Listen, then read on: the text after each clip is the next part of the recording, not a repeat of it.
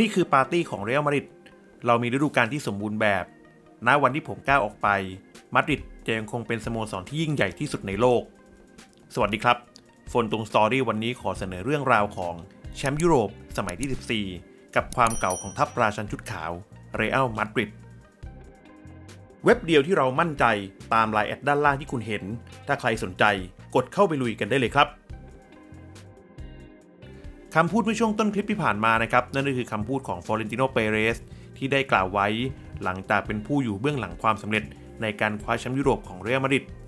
ซึ่งในวันนี้นะครับทางช่องโฟนตุงก็ต้องขอแสดงความยินดีกับแชมป์ยุโรป สมัยที่ 14 ของเรอัลมาดริดด้วยนะครับ หลังจากที่ฤดูกาลนี้ในศึกฟุตบอลยูฟ่าแชมเปี้ยนลีกเรอัลมาดริดต้องเจอกับงานที่โคตรยากมากๆ พวกเขาต้องเจอกับยอดทีมระดับโลกทั้งนั้น ไม่ว่าจะเป็นการเจออินเตอร์มิลาน เปแอสเช เชลซี แมนซิตี้ และล่าสุดในเกมรอบชิงชนะเลิศ พวกเขาก็สามารถล้มลิเวอร์พูลของเจอร์เก้นคล็อปป์ได้สำเร็จ จากการทำประตูชัยเพียงแค่ประตูเดียวของวินิซิอุสจูเนียร์ในนาทีที่ 59 ซึ่งถ้าหากย้อนกลับไปนะครับ ตั้งแต่ในรอบแบ่งกลุ่มของศึกยูฟ่าแชมเปี้ยนลีกในฤดูกาลนี้ แทบไม่มีใครมองว่าเรอัลมาดริดจะเป็นทีมเต็งแชมป์เลย หลังจากที่ฤดูกาลก่อน พวกเขาคว้าน้ำเหลว กลายเป็นทีมราชันไร้มงกุฎ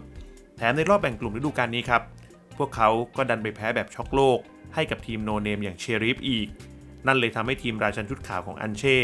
ถูกมองข้ามเป็นอย่างมาก แต่อย่างไรก็ตามนะครับ ทีมราชันชุดขาวก็คือทีมราชันชุดขาว โดยเฉพาะในศึกยูฟ่าแชมเปี้ยนลีกพวกเขาก็พิสูจน์ให้ทุกคนได้เห็นแล้วว่า พวกเขาโคตรเก๋าและสุดยอดขนาดไหนในรายการนี้ เรอัลมาดริดนะครับ เข้ารอบน็อกเอาท์ด้วยการเป็นแชมป์กลุ่ม จากนั้นในรอบ 16 ทีมสุดท้าย พวกเขาก็จัดการดับซ่าทีมอย่างเปเชไปด้วยสกอร์รวม 3 ต่อ 2 ซึ่งตลอด 2 นัดที่เจอเปเชมาดริดมีช่วงเวลาที่ดีกว่าเปเชเพียงแค่ช่วง 30 นาทีสุดท้ายของเกมนัดที่ 2 เท่านั้น และในรอบ 8 ทีมสุดท้าย พวกเขาก็ยังคงยอดเยี่ยม ปราบเชลซีไปด้วยสกอร์รวม 5 ต่อ 4 และเป็นการชนะแบบโกงความตายได้ในช่วงต่อเวลาพิเศษ จากนั้นนะครับเรื่องราวความดราม่าของมาดริดก็เกิดขึ้นอีกครั้งในรอบ 4 ทีมสุดท้าย วกเขาพลิกกลับมาชนะแมนซิตี้ด้วยสกอร์รวม 6 ต่อ 5 ทั้งทั้งที่ใครหลายคนก็มองว่าพวกเขาไม่น่าจะพลิกสถานการณ์กลับมาได้ ขนาดในเกมที่ 2 ครับ ก็มีการคำนวณออกมาเป็นเปอร์เซ็นต์ว่า การเข้ารอบของมาดริดมีเพียงแค่ 1%เท่านั้น แต่ด้วยความเก่าของพวกเขาท้ายที่สุดแล้ว เรอัลมาดริดสามารถโค่นแมนซิตี้ของเป๊ปกัวเดโอลาได้สำเร็จ พวกเขาผ่านเข้าไปชิงชนะเลิศกับลิเวอร์พูลอีกครั้ง และในเกมนัดชิงชนะเลิศที่เพิ่งจบลงไปนะครับ มีหลายเหตุการณ์ให้พูดถึงครับ เริ่มจากการเลื่อนเวลาเตะไปถึง 36 นาที เนื่องจากมีปัญหาในเรื่องการเข้าสนามของแฟนบอล และเพื่อความปลอดภัย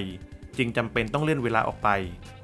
ถึงแม้ว่าจะมีการเสียเวลาไปบ้าง แต่บรรยากาศในสนามสตาดเดอฟรองซ์ก็ยังคงสุดยอด สมกับการรอคอย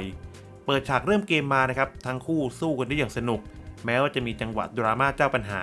ที่เบนเซม่ายิงประตูเข้าไป แต่ไม่ได้ประตู แต่อย่างไรก็ตามนะครับ ท้ายที่สุดแล้วเรอัลมาดริดก็มาได้ประตูจนได้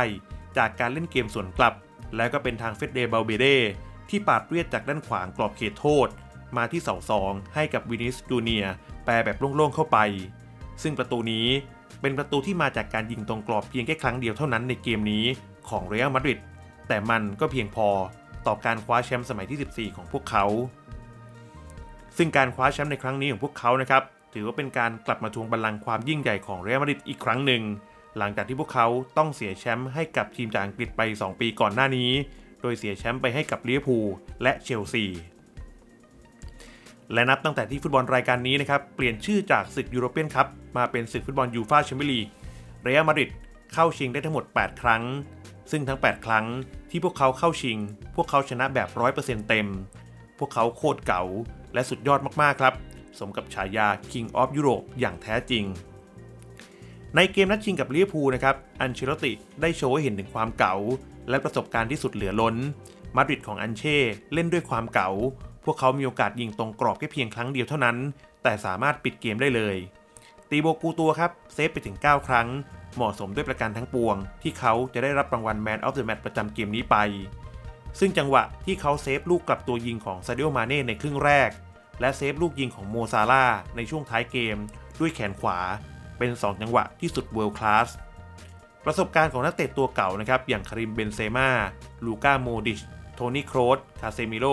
ดานิเอลคาร์บาฆาล และดาวิดอลาบา ช่วยทีมได้เป็นอย่างมาก นักเตะดาวรุ่งของทีมครับ ไม่ว่าจะเป็นวินิซิอุสจูเนียร์เฟเดบัลเบร์เดเอแดร์มิลิเตา แฟร์ลองเมนดี้ก็ยกระดับฝีเท้าของตัวเอง ไปไกลกับคำว่าดาวรุ่งแล้ว แถมพวกเขาเหล่านี้ ก็มีความฟิตวิ่งได้ 120 นาทีไม่มีหมด เรอัลมาดริดชุดนี้ครับ คือส่วนผสมที่ลงตัวสุดๆ พวกเขายอดเยี่ยมมากๆ เหมาะแล้วนะครับ ที่พวกเขาจะคว้าแชมป์ในฤดูกาลนี้ไปครอง แล้วคุณผู้ชมละครับ คิดเห็นอย่างไรกันบ้าง กับความสุดยอดของเรอัลมาดริดคอมเมนต์เข้ามาพูดคุยได้เลยนะครับ และนี่ก็คือเรื่องราวของแชมป์ยุโรปสมัยที่ 14 กับความเก่าของทัพราชันชุดขาวเรอัลมาดริดวันนี้นะครับผมฝนตรงขอลาทุกคนไปก่อน ฝากกดไลค์ กดแชร์ กด Subscribe กดติดกระดิ่ง เพื่อจะได้แจ้งเตือนทุกคลิปของช่องโฟนตุง และเจอกันใหม่คลิปหน้า สวัสดีครับ เว็บเดียวที่เรามั่นใจตามไลน์แอดด้านล่างที่คุณเห็น ถ้าใครสนใจกดเข้าไปลุยกันได้เลยครับ